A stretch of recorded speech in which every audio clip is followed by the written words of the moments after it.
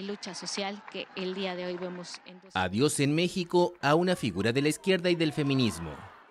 La presidenta de la Cámara de Diputados, Ifigenia Martínez, falleció el sábado a los 94 años, cuatro días después de encabezar la histórica investidura de Claudia Sheinbaum como primera presidenta del país. Con la salud muy debilitada, apenas pudo pasar la banda de manos del presidente saliente Andrés Manuel López Obrador a las de Sheinbaum. Nacida en 1930, Martínez fue una de las fundadoras del Partido de la Revolución Democrática, PRD, en la década de 1980. Participó en el movimiento estudiantil de 1968, cuya sangrienta represión fue condenada por Sheinbaum al día siguiente de su toma de posesión.